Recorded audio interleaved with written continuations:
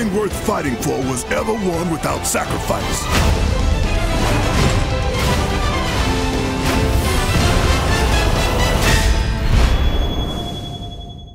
For the players.